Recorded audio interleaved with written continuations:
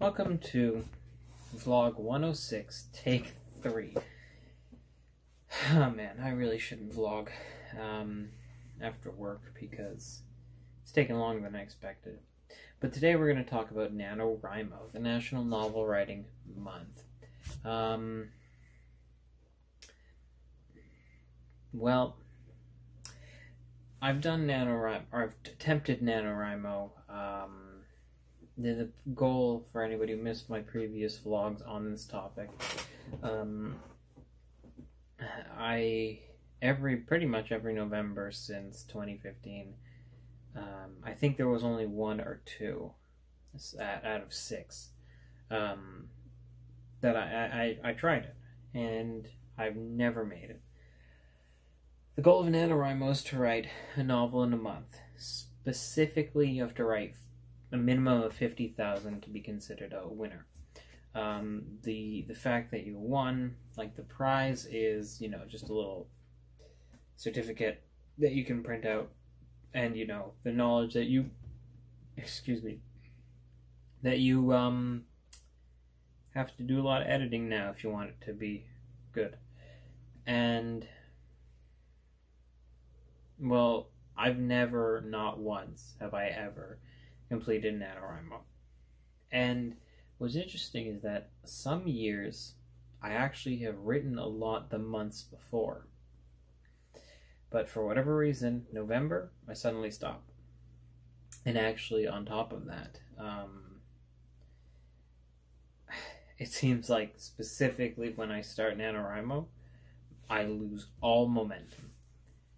Now, this year, I've been moving a lot in my job. And what I mean by that is um, I work in different locations, and I, I'm on my third location in like, you know, a month and a half.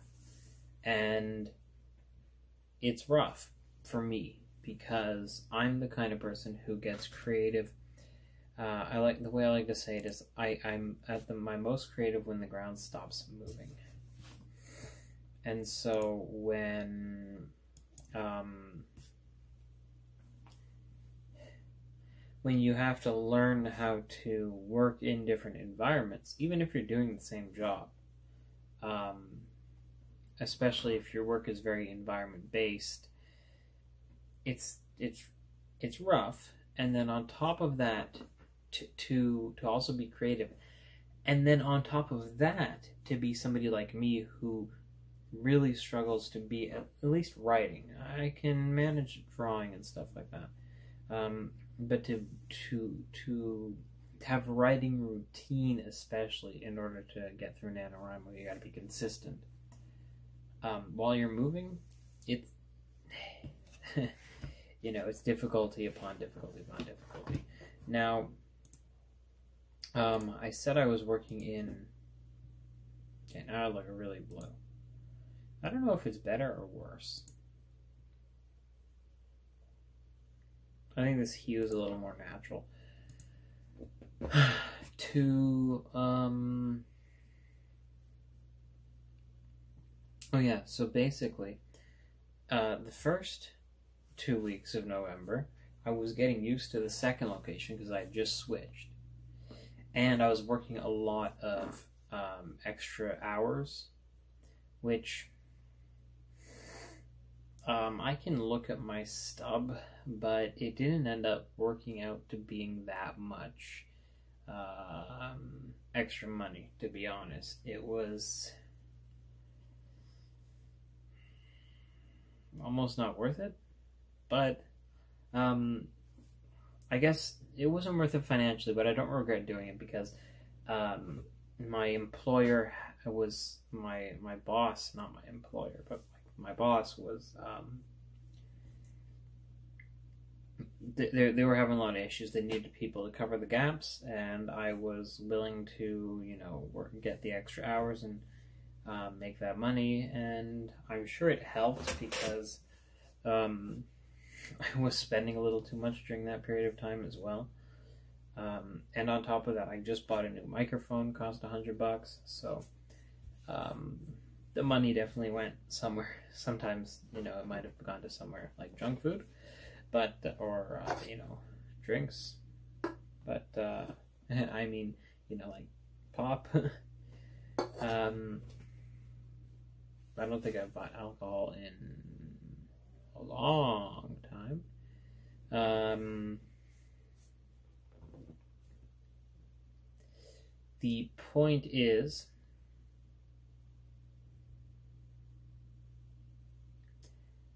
I was adjusting in the first two weeks of NaNoWriMo, and it shows because um, on the third, I have my stats right here. Um, on the third, I wrote a good amount. Like I, I, I, I was late to the punch. I missed the first day. On the second day, I only wrote 300. On the third, though, I wrote 800. Now, if you do the math, uh, you know, 50,000 words divided by 30 or 31 days, I don't remember. Um, it's 30 days in November. You have to write a little more than a thousand per day. But 850 is close. So I could have built that moment, but I didn't. And what happened was basically after the uh, after the 8th which was the first week. Um, I guess that was that week. It was less and less and less, and I think I was working, you know, more extra hours. Um, I also had a giant gap where I went on. I had to not a road trip for fun, but a road trip to go get more stuff from um, my grandmother's place where I was living. So then then I moved to this location, and uh, the writing almost stopped. I actually I have been contributing to it here and there, kind of like a bird pecking. Every it looks like every like every four days. Like I'll have three days where I don't write anything, and then on the fourth day I'll write something. Um, but it's it's a little bit less than hundred every time, and actually, those weren't even on the project like I decided I was going to change the project, um, but it's it's a mess. And actually, the project is a mess. It was the Solens of Rhinum, which was the story of um, how Chloe Rye's mother and father met. Um, Chloe Rye being the youngest of, I think, seven. Um, okay, the twins. Six. she's the youngest of six. Even though she's the fifth prince of the soul, and the twins count as uh, both of them count as third. Um, yeah.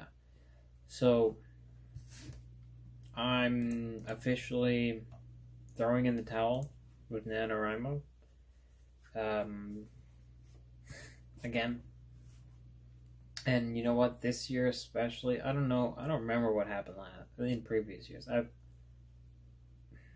I've always had something going on in November, if only, um, you know, a university uh, midterms, and uh, actually, often the end of November is when you start looking into exams because there's only like a week or two of uh, December that that might have classes, and then it's final exams. So I've never had a a good uh, November where things were not shifting in my life since 2015 when I graduated uh, high school. So, you know, that's just how it is. Um, what am I going to do with the Solens of Rhinum? The, the project I was working on, the book I was working on. Well, I'm not going to abandon it because it is an important part of an important character's story, and actually, um, the king himself is one of the oldest characters. Um, a lot of these stories are about characters who existed as drawings, um, in some cases, even as ideas before drawings. um, for years before they ever got penned to paper. Um, I actually also tried doing a comic once. I only got like two pages in. Um, but um, Solomon King is his name is Rye, and for a long, long time, I didn't know what uh, I didn't know what to call him. He was just the Solomon King for years and years and years, and then um, I think before I graduated high school, maybe a year or two, so 2014, 2015, um, that sort of time.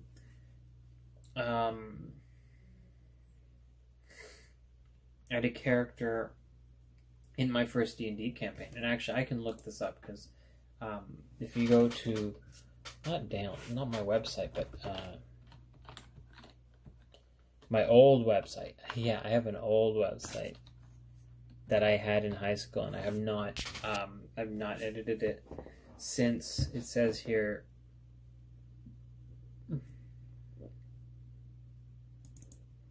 2017. Um, yeah, so back last time I edited it, this, I was reading, and I think I was actually read like not audiobook reading, which is what I do a lot nowadays, um, and for a long time actually, because it takes you know it takes more effort to read. But um, I was reading Rising Sun, which by Michael Crichton, very interesting book, very gives you a very unique look at Japan. Um, through multiple perspectives, and it's also murder mystery, so that's always fun. Or not a, I don't think it's a, I don't know if it's a murder mystery or like, um, uh, they're investigating a theft of some very valuable business uh, technology. And I was reading Spice and Wolf Volume 14, which apparently was much better than Volumes 12 and 13. Zelia. Um, but I have a tab Dongale, where I talk about um, the different nationalities that I had, and apparently I have a whole sheet. Wow, okay, there's actually some good, uh, useful stuff here. Um, history of D&D campaigns, that's what I was looking for. So, my first D&D campaign was called um, the Goo campaign, and it started in late July 2014, apparently. And so there was a character, a non-player character named Millie Millie Rye. Um, a name I just came up with off the top of my head. Turns out she is the cousin of Chloe, and I decided that okay, if I have if Millie Rye has a last name, Chloe, the son or the son, the the daughter of the king, probably they they is also Rye. Like, and yeah, it's actually um, they're connect like Millie Rye's father and Chloe's father are brothers, so they're both Rye.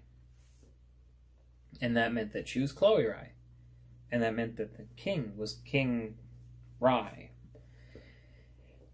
Now I decided. I think it was just last year I decided so last year is six years later. Um,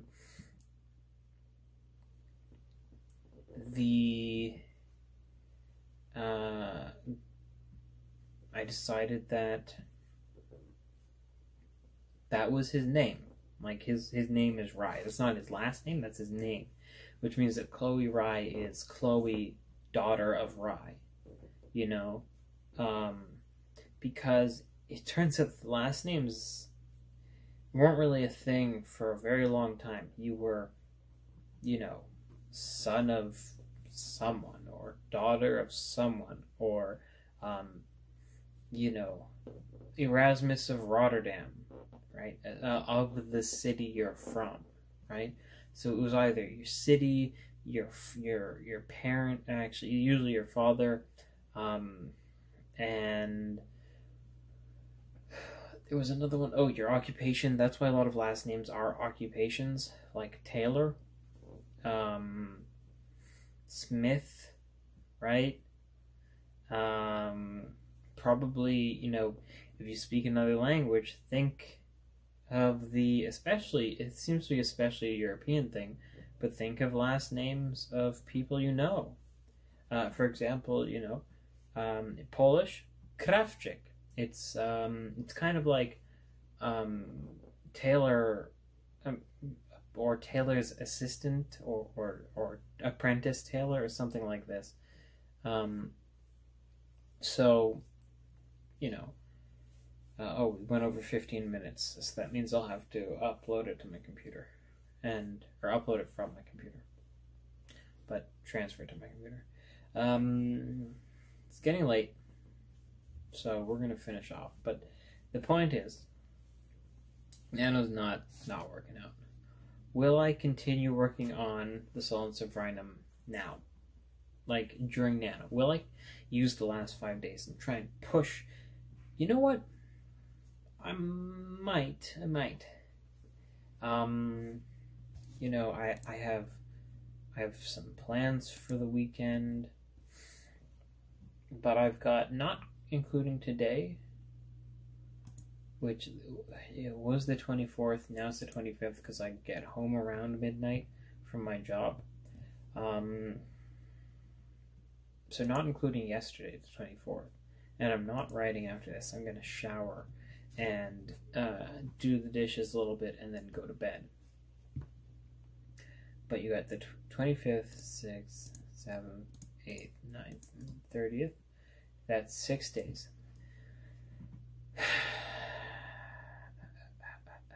Oh, except I can't write on the 30th because if I get home at midnight, that means Nano's already over because it's the first. So it's five days. Will I hit the, the number? 10,000 words per day? Honestly, maybe I could do it, but it'd probably be bad for my health. Um, it would eat up time I want to use for other things. Um, I probably like I have more time in the morning generally, um, but I I do other stuff in the morning, you know, like get ready for work, um, eat. So I, you know, if I had to, you know, if there, if there was like a cash prize of ten thousand dollars, you know, I would do it. But there's nothing of the sort. So I'm not. It's not worth it will I take the time to push, you know, maybe a few more chapters? Maybe a chapter a day? I can try. Actually, yeah, I'll try that. I'll make, I'll do a chapter, I'll, I'll try to do a chapter a day and give me one day of leeway. Um, I think that's it. Now, regarding writing, um, War and Peace is a very long novel. Um, I think there's like 15 books in it. It's if you have. I, no, it's not on my shelf. Um, but the, the actual book itself is huge. It's like 1,400 pages. That's 1,400 pages. Um, it's like a brick. That's actually what a lot of War and Peace fans call it, is their brick. Um, and they, they, you know, they enjoy lugging it around and kind of showing off that they're reading such a huge book. Um, which, alright. But, um, honestly, the first six books are kind of. But after book seven, it it's actually interesting, um, especially if you like the realist style, which I do. Um, I really like realism uh, as a genre, as a literary genre. I like to uh, pretend that I'm realistic. Um, but the thing about War and Peace is that I'm, there's actually a few things I'm learning from it, and I have this in my note, but I'm currently recording with the phone that my note is on. And I did email my notes to myself so I can put them on my new phone, but I don't want to rummage through emails now. I want to go to bed. Um, you know what? Maybe I'll shower in the morning. Yeah. Um, but the point is, there are a few things. One, there was this very interesting scene. Um, the first third of War and Peace is, you know, the the running up of the of the war getting between Napoleon and Russia getting ready to happen, and then um, in um, then it stops. Like the they declare peace. And i was like huh? They declared peace? And i had to look because I, I wasn't reading it. I was listening to it while while i was working right? And i, I was like what the heck? So I, how much is left in this book? And it's like mm, you know more than half. And so yeah the the war between napoleon and russia apparently i don't know if they um, if they reached um, I, I get like apparently Tolstoy did a lot of good research so he they must have reached there must have been a short peace but they're fighting again. Um, and there's a scene where a peasant you know the the servant of one of the main characters because all the main characters are, are Russian aristocrats because I guess because Tolstoy himself was a Russian aristocrat.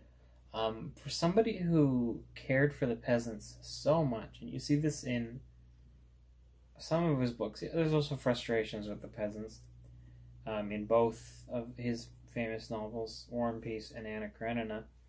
But for somebody who you know purports to care about peasants to the point where um, he wanted to um, give up his wealth and and live a simple life himself. Uh, he also uh, he made a lot of schools for peasants. Like he, he established actual schools, places of learning for the peasants. And but for somebody who purports to care about peasants so much, in in both of the novels I've read, which have many, many main characters. Main characters. Like multiple perspective characters. I think War and Peace has three or four, you know? Um, none of them are peasants. So, I have a sort of love hate relationship with Tolstoy. I used to really, really like him. You know, I admired his, his caring for the people. Then I found out, you know, later in life, um, uh, you know, tension. His wife, and this is, I think I went off about this in another vlog, but especially with, um, but you know, sh- she she was not ready to give up her aristocratic lifestyle, and his books was a major source of income for them because he got really, really famous in Russia, like really famous in Russia. Um, and he wanted to sign away the rights, like he wanted to give up the rights and put them in the public domain for anybody to use. And that meant that they would stop receiving nearly as much income because anybody could copy it and sell it as their own. Um, and so she was obviously against that, but he, he they made an agreement that all his older works, which were his more popular works, they would she would keep, and his everything he wrote after a certain point was his to uh, get you know put give away basically. But basically, uh, the way he end his life ended was bad, in my opinion. Basically, he tensions with his wife was so high. I think he found his his wife like his wife and him used to read each other's diaries.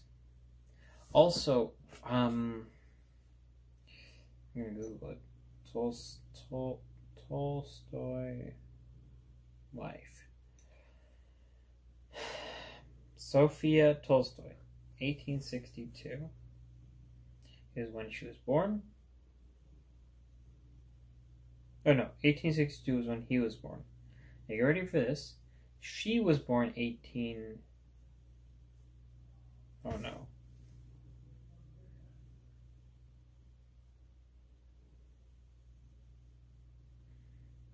This is starting to frustrate me. Um, Countess Sophia Andrei Andreevna Tolstoy Tolstaya, born in 1844 and died 1919, age 675. Leo Tolstoy was born in 1828. This means, if we do some basic math, that there was 16, I think, years, I think, um, between them. Um, so he was born in 1828, so 30 is two years, and then um, 10 more years to get to uh, 40, and then to get to 44 is 4, so 4 4 plus 2 plus 10 is 16. Yeah. Anyway, um, that's a huge age gap. And so there, I guess there was a generational gap. Um, and so apparently things started great between them and slowly got worse and worse and worse as they aged. But um, what ended up happening was, and is they used to read each other's diaries. But eventually, as they started to drift apart, he he kept two diaries. He kept one for her to read, and he hid one away. And what happened was, I think he woke up one night in the middle of the night, and he found his wife going through papers, or maybe reading the di- the second diary, the secret one, or something. And he was like, "This is the last straw," and he left. And he left the house. He actually told his daughter, like, "I'm leaving." He was very close with what his, I think it was his youngest daughter. There was a younger son, but he he died uh, when he was like eight or nine years old. Um, so he told her, "I'm leaving," and you know she recounts this because we actually have her on video because you know a child of Tolstoy is going to be living into the time when cameras, video cameras, are available um, which is you know is fascinating. Um, you might, you know, there there are people, there are probably people living today who knew her, or maybe, you know, who knew somebody who knew her, and then she knew Tolstoy. That's only four, and he lived 150 years ago, and he lived in the 1800s. Um. Anyway, uh, so she recounts like she didn't understand what what he meant that he was going, but she quickly realized. And he left. Um, and he was going to go. He was going to go somewhere, but he didn't make it. Um, he stopped at uh, I think the first train station. He stopped somewhere nearby. Uh, he went on the train, right? He stopped somewhere nearby, and um, he was dying. And he, you know, there was enough time to get all of his family there, and but he did die. And so basically, you know, the lesson to learn from this is if you run away from your wife, you die. And the worst part of it is that I know I talked about this before, but it's really disappointing to me.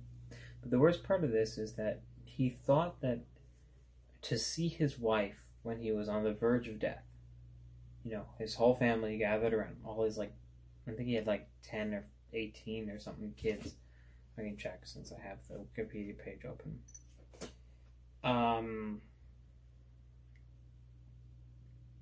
but like, to be on your dying, on your deathbed, and not want to see your wife, your wife, of, you know, of decades. You know, they're married for maybe 20, 30, probably 40, 50 years, you know? Um, actually, yeah, they were married in 1862, and he died in 1910. That's that's 48 years. So to have a relationship of 48 years and think that seeing this woman is going to stress you so much that you're going to die, something wrong here. And in fact, I recently put in my Instagram story. You should follow me on Instagram, Daniel L. Triumph. I had the extra L just because Daniel Triumph is often taken because it's Daniel and Triumph means to win. Um, Rabbi Chaim Vital, one of the great Kabbalists, said, A man's soul is judged in the next world according to how he treated his wife. And so that's why I'm being especially harsh on him. Um, especially harsh. And of course, what does this mean? Um, this is in the beginning of Sha'arei Kedusha. I saw it in the parish of the Sefer called Olam Hamidos. The main idea was a person can fake how he is to the outside world, but to a spouse you are with all the time, there is no faking your true character. Also, a person may be afraid to lose a friend if they act badly around them, so they can, you know, they can act good when they're around their friends. But one spouse is committed and therefore less likely to leave.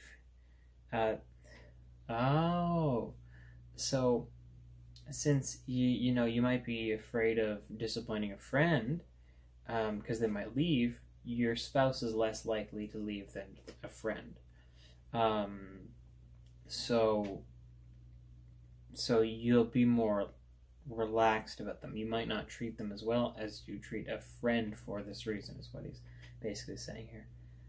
The basic gist is that the true measure of what your true um, character traits are is how you are around your spouse um, this guy says his teacher, uh, Yitzhak Greenblatt, a Talmud of Rav Reuven Leuchter, is uh, is very big on the concept of the obligation of a person to deal with their akrias after big things. I don't know what a krias is.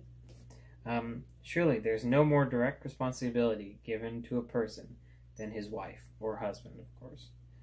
There's probably a good reason why it, it, the saying is about specifically the wife and that reason is because typically um, in in a, if a marriage is having issues it's the uh, it's usually the husband's fault and you might say well what do you mean um, you know this is the statistics women initiate 70% of divorces. Yeah, but does that mean she was the problem or that she felt that there was no other solution? Um, you know, nowadays, you know, women can be problems too. But I actually, I heard from a, uh, a video I watched of a, um, a marriage counselor that he said in all of the the people he counseled, um, both the ones that he was able to help and the ones that ended in divorce, all of them, 100% of the time, he said the man was the problem. And um, so, you know, maybe maybe he was exaggerating, or maybe he just accidentally found, or you know, only relationships where the man was the problem. Um, but honestly, I think just a little bit of, you know, looking at actual existing long term relationships, hopefully marriages, but Nowadays, people don't seem to like to get married so much, um, which you know that's not good. Uh, you should make things official. Acryus.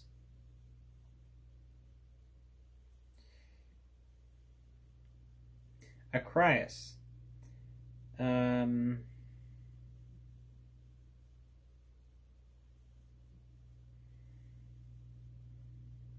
charged with responsibility to be accountable. So, obligation of a person to deal with their accountability after bigger things. Um, okay, yeah. So, are you an accountable husband or wife?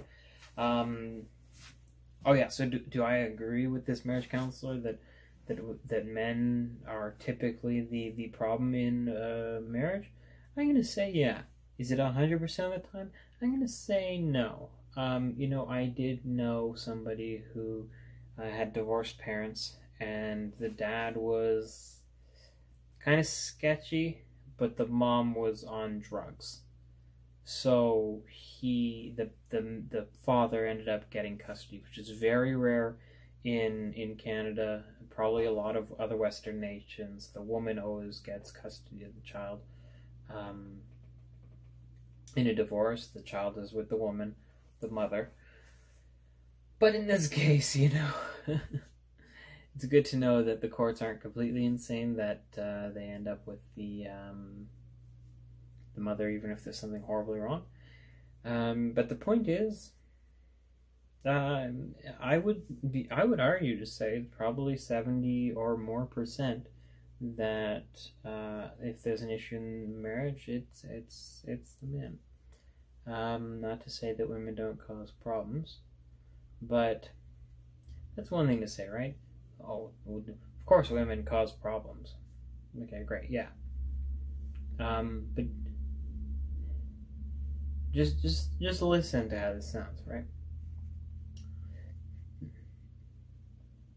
Husbands cause problems. Okay, I guess.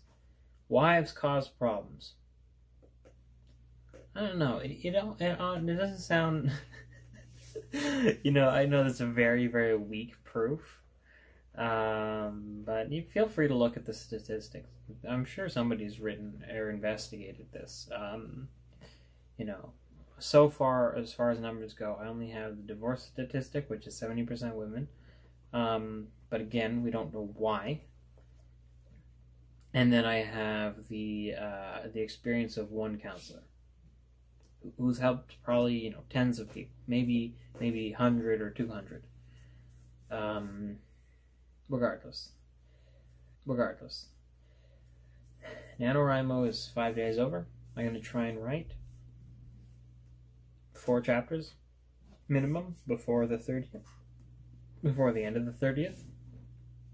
Um, Slow and Sovereign, I'm going to continue working on Slow and Steady and go back to writing the Solon Prince because that novel needs some love. I've been working on it for years.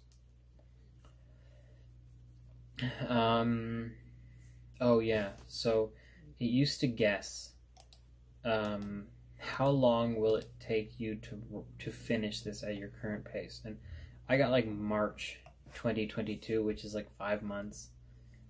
Now it's like, mm. and then no, I was like, you know what? That's not too bad. Um,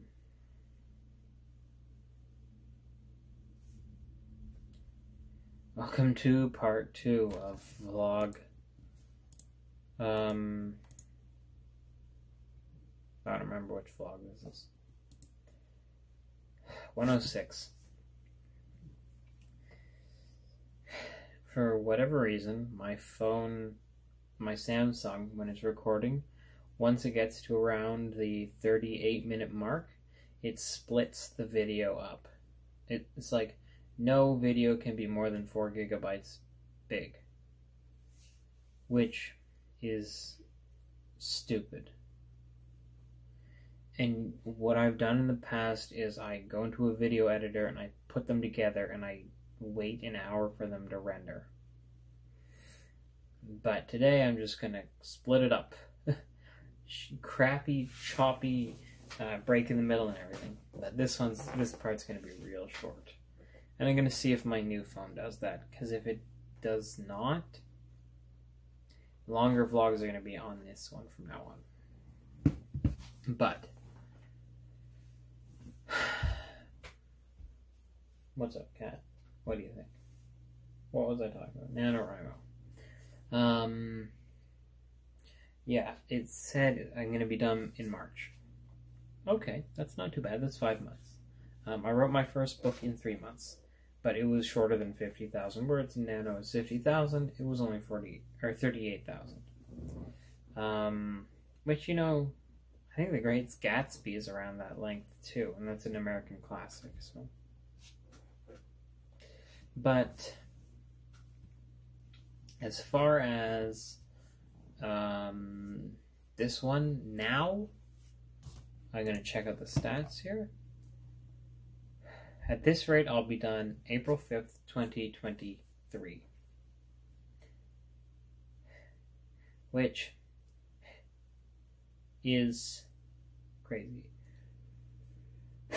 I added a whole extra year um, this month just because I've been struggling so much. And so, to be honest, I don't think my routine's going to level out for another two weeks. And I'm not going to be super comfortable for probably another two months. And so, my progress is not going to be so great. But you know what? In, I think, July, there is Camp NaNoWriMo. Let me see all my. Ah, the Nano has saved all my projects. So, in 2015, I simply called it Dawn Gale. And um, unfortunately, I don't have this, I don't know where this manuscript is. Um, you know, the laptop I was typing it up on high school, when I was in high school, is long gone. Um, the files I might I might have, don't know, but I might have them. Um, but where they are, I don't know. I have a zip folder of um, old laptop files, and I'm opening it right now. Yeah, this is stuff from university. So it's um that's the wrong laptop, right? It'll be a whole adventure to try and uh, to try and see if I have those files kicking out somewhere. I'm not going to try to do it now, but it was 28,000 words, and Camp NaNoWriMo was in April. April. April. That doesn't sound right. No, it's July. April. I guess it changes because um, I tried to do Camp NaNoWriMo apparently in July for another story called um, The Young Immortals. And that was a mess. I'm almost certain I don't have that manuscript either, but it was horrible anyway. So uh, I'm almost happy I don't have it. Then um, I started a NaNoWriMo in 2015. Um, November, I guess, 2015. And I didn't write a single word. And then 2018, so 16 and 17 I didn't. But 2018, mm, didn't. I wrote 497 words. And then uh, Camp NaNoWriMo 2020, which was a year ago in July. I wrote 1200 words. Yeah, it's it's been, you know, actually kind of like the first time I made it, but that was cuz it was part of my creative writing class in high school. And then that summer, I guess, I tried to do it again and I wrote apparently 13,000 words, which is not bad. Um, and then that November, I tried, like, I made a profile, but I didn't write anything. And I know, I'm pretty sure I didn't write anything at all because the Sullen Legends was just an idea. I think I planned. I think I wrote some plans for it though. It was um, Yaska and Jin. Um, and then um, the Sullen Prince chapter 16 plus was that would have been cheating. Because you're supposed to write it brand new. But I didn't want to, I wanted to keep writing my book. But I didn't. I wrote 497 words. And then the Sullen Prince novella 2, which was 1300 words. So I, maybe I wrote a chapter. Uh, that was for Camp NaNoWriMo, though, so that was allowed. And then the Sultan's of Rhinum, 2,400 words. And so you know what? If you take off those first two, where I started at 30,000, I dropped to 13,000, um, and then I went 0, 500, that's a lot more than 0, and then 1,200, that's, you know, twice as much as 500, and then 2,400, that's all, you know, that's twice as much as 1,200. So maybe um, this is exponential growth how long will it take for me to get to um, 50,000? How many years at this trend will it take before I calculate it? So, 2400 times 2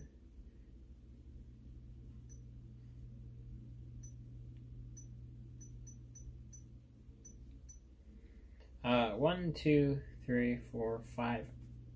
Five years, I'll be at 7,600. You probably, you can't see the number, but it's there. So, maybe I'll keep failing at NaNoWriMo. Um, and probably next Camp NaNoWriMo, I will just continue my novel. because Camp NaNoWriMo's rules are more loose. Anyway, thanks for watching. Do I have anything else I want to say? Um, starting next week, I'm going to have a uh, reliable and specific uh, route at work. So that'll be that'll be good. I can start settling into things. So it won't be two weeks. I, like I, I, I'm finishing my second week at the workplace, but I was trained in other locations at this location, other runs, you could say, right? And so starting next week, I'll actually be starting my official run on my own. So two weeks from then, everything will settle. So that'll be, you know, December 13th. We'll see how it goes. And if I end up, you know, when December starts, I'm going to hopefully remember NaNoWriMo's over, and I'll tell you if I ended up writing the four goals chapters. And, um, yeah, that's that. Also, regarding, I don't know if I talked about my budget, but I made up a rough budget, and it's all right. I'm even with my student loan payments, I'm you know over two hundred dollars in the green. That's unallocated funds, which will probably go into like a savings account. Um, and I know that I'm overspending in certain areas, so I can lower that and save even more. And or pay down my loans or whatever. Anyway.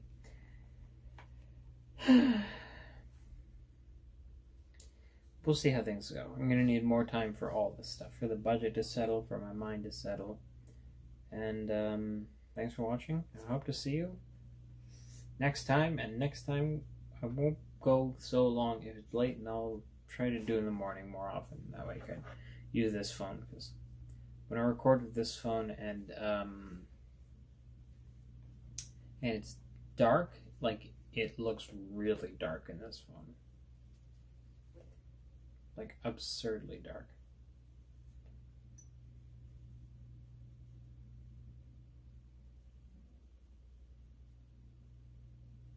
Yeah, it wants to use Flash. I was gonna try and take a picture and show you the picture of the picture, but um, it's not happening. Anyway, I'll see you later. This is, you know, this is 50 minutes into take three, and the first two takes collectively were around 13 minutes. So I've been doing this for an hour. I wasn't planning to do it for an hour. I'm planning to do it for 15 minutes or something. Sucks. Alright. Good night. No, I was like, yeah.